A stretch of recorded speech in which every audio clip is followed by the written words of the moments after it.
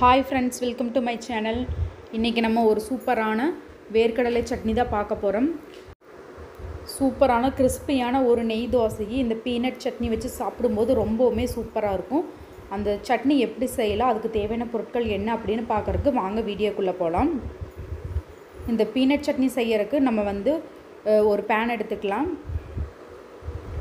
அதில் தேவையான அளவு கடலை எண்ணெய் சேர்த்துக்கோங்க. கடலை எண்ணெய் தான் ரொம்ப டேஸ்ட்டாக இருக்கும். அதில் வந்து எண்ணெய் காஞ்சதும் கருவேப்பிள்ளை காஞ்ச மிளகாய் சேர்த்துக்கிறேன். அடுத்ததாக நான் வந்து ஒரு மூணு மீடியம் சைஸ் பெரிய வெங்காயம் பொடியை நறுக்கி சேர்த்துருக்கிறேன்.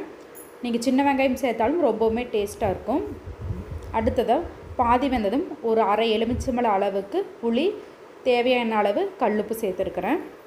இதெல்லாம் சேர்த்து கொஞ்சம் நேரம் நல்லா வதக்கிக்கலாம். இப்போ வெங்காயம் நல்லா வதங்கின உடனே நல்லா ஒரு கைப்பிடி அளவுக்கு நிலக்கடலை வந்து நான் தோலெல்லாம் எடுக்காமல் அப்படியே சேர்க்குறேங்க. ஒரு ரெண்டு நிமிஷம் போல் நல்லா வதக்கி விட்டுக்கலாம். இப்போ பார்த்திங்கன்னா சூப்பராக ரெடி ஆகிடுச்சு இது வந்து நம்ம ஸ்டவ் ஆஃப் பண்ணிவிட்டு கொஞ்சம் நேரம் ஆறுனதுக்கப்புறமா நம்ம இதை சட்னி அரைச்சிக்கலாங்க. இப்போ பார்த்திங்கன்னா சூப்பரான சட்னி ரெடி ஆகிடுச்சு இந்த சட்னி வந்து நம்ம இட்லி தோசை எல்லாத்துக்குமே ரொம்பவுமே சூப்பராக இருக்கும். இது வந்து உங்களுக்கு தாளிப்பு தேவைப்பட்டால் நீங்கள் வந்து கருவேப்பிலை கடலைப்பருப்பு தாளித்து போட்டுக்கலாம்.